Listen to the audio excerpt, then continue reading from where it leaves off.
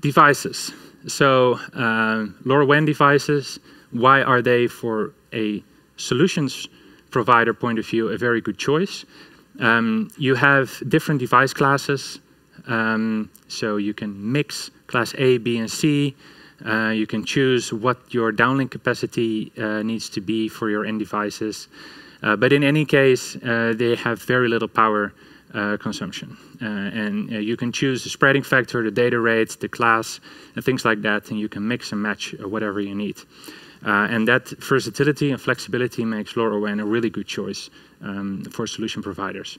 And there are many LoRaWAN devices. So uh, you can go to the Things Network Marketplace. Uh, there's a, a, huge catalog of LoRaWAN devices, and you can find LoRaWAN devices for just about everything.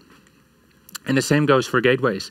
There are many different gateways, and there are uh, all sorts of differences between them. So the regions, the, um, the software that runs on the gateway, the remote management, uh, how many channels they have to listen on, uh, but also the uh, ruggedness and whether or not you can deploy it outdoors or not.